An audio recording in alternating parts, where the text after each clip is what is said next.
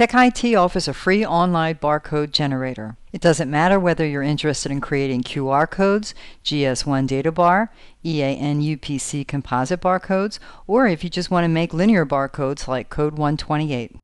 The online generator supports them all.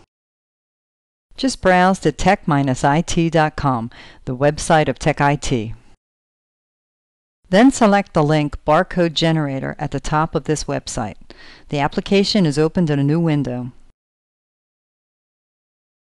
Scroll down a bit and select the barcode type of interest from the list of supported symbologies.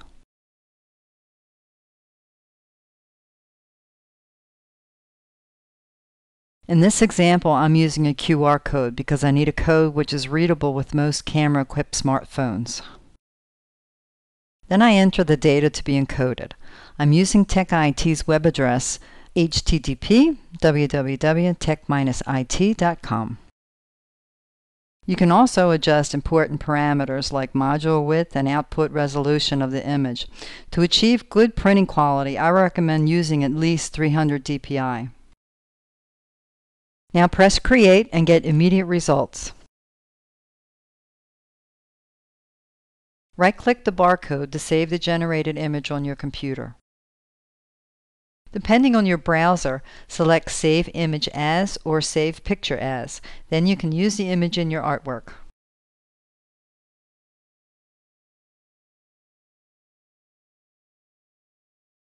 Another interesting feature is that TEC-IT's barcode generator can be embedded into your own websites or blogs. You can create dynamic barcodes as part of your site. To find out the URL of the barcode, scroll down to the bottom of this page.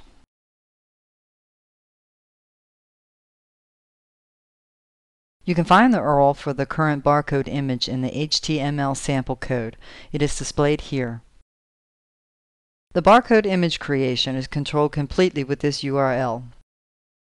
It specifies the barcode type, the data to be encoded, the image resolution, the rotation of the image, and the adjusted module width. Let's try this now. I copy the complete URL into the clipboard. Then I open a new browser tab and paste the URL into the address bar. After confirming with Enter, the freshly generated barcode image is displayed. And last but not least, this online barcode generator is completely free for private and non-commercial use. I hope this video has been of interest to you. Thanks for watching.